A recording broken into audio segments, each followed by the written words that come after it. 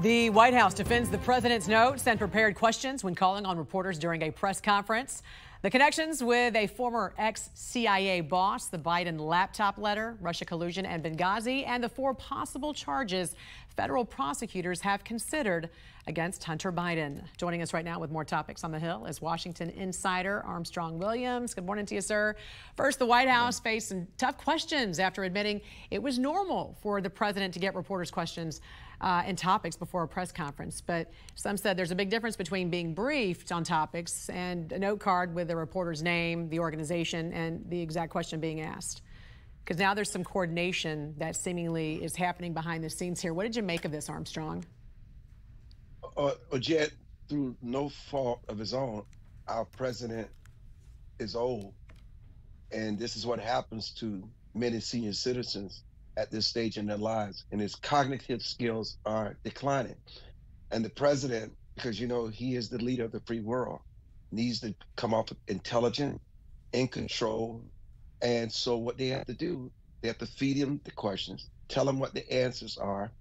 And this is becoming normacy for this White House. Even the New York Times wrote an article last week comparing him to Franklin Delano Roosevelt and Ronald Reagan that you can have a president who's declining and the government is so much bigger where you have the pieces in place to run the country. So they're finally acknowledging, uh, and we can all see it, uh, the decline of our president.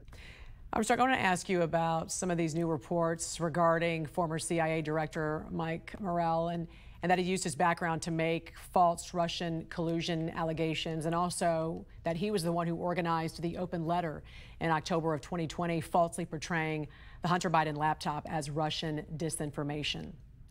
Shouldn't somebody be held responsible for this? Because he did that after he reportedly got a call from Secretary of State Antony Blinken. What do you make of some of these new reports?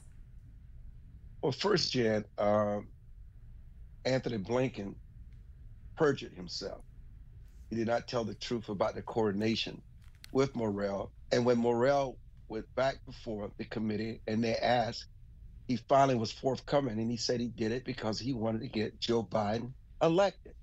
And so if he wanted to get Joe Biden elected, uh, Antony Blinken and all was they're all in, on the plate. And so Antony Blinken was rewarded um, by giving this, giving the Secretary of State slot. And what is unfortunate about all this, Jan, is that the American people believe that just everybody lies. The media lies, Congress lies. No one has the integrity anymore. And so it, because it, this has been we have normalized lying as if it's no big deal, whether it's the president or the Secretary of State. And it, you know what? This is really unfortunate for our our republic. Yeah, it very. really is. And this also comes as federal prosecutors are considering four possible charges against Hunter Biden. So what can we expect? Why do you think it's taking so long to either bring charges or, or dismiss the case? Well, when you're the son of the president of the United States, he controls all levels of government. And you best believe, as any father would, uh, whether your son is guilty or not, they're going to do everything they can. Especially, this president has so much anguish and so much emotions over losing his wife, losing his son. That that crash still impacts him. And so what he does, he feels guilty. He excuses his son's criminal behavior. And I say criminal. He's a father and and obviously he did everything he could to support his son, and that's why his brother and everybody is tied to this criminal enterprise. And sometimes we forget how far parents will go to support and able and enable their children. But I think what he's coming to the realization of now, Jan, is that there will be some charges filed against him, whether it's tax evasion, whatever it is. They're going to give him the lowest charges as possible, but he will be indicted for something. But whether he serves time or not, as long as his father is president of the United States and cover all levels of government, he will not go to jail. All right, and very quickly, you have Bill Barr, Dr. Ben Carson on for your live guest tonight for your voice, your future town hall. I've got 10 seconds. Tell us quickly about that. Well, you know, there are two former cabinet secretaries. They understand the levels of the government.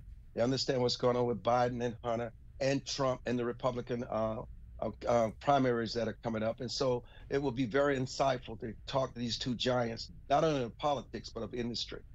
Looking forward to it. Washington Insider Armstrong Williams, great to see you. Have a great day. Thanks for joining Thank us. You.